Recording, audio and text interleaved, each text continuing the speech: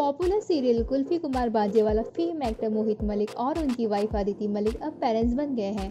अदिति ने हाल ही में अपने बेबी बॉय को जन्म दिया है, जिसकी झलक मोहित और अदिति ने सोशल मीडिया पर शेयर कर इस खुशखबरी को अपने फैंस के साथ शेयर की है। बता दें कि टीवी एक्टर मोहित मलिक और अदिति शादी के 10 साल बाद अपनी फैमिली शुरू किए हैं। अदिति की प्रेगनेंसी की खबर मोहित ने सोशल मीडिया पर एक पोस्ट के ज़रिए फैंस के साथ शेयर की थी, जिसमें वो अपनी लेडी लव अदिति की बेबी बम पर हाथ रखे हुए हैं।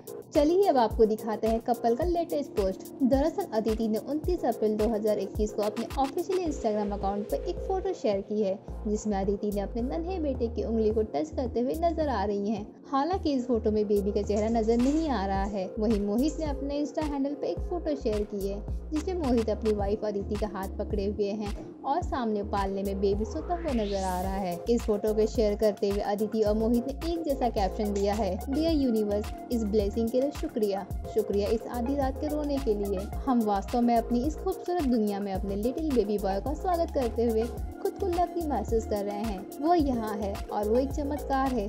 इस पोस्ट पर सेलेब से लेकर फैंस तक खूब बधाइयाँ दे रहे हैं। फ़िलहाल अदिति और मोहित अपने नन्हे मेहमान के साथ अपनी ज़िंदगी की नई शुरुआत कर रहे हैं, जिसकी हम उन्हें ढेर सारी शुभकामनाएँ देते हैं। दोस्तों, आपको कपल की बेबी की पहली झलक कैसी लगी?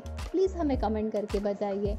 और हमारे वीडियो को लाइक शेयर एंड सब्सक्राइब करना मत भूलिए। जल्दी जल्दी, अभी अभी।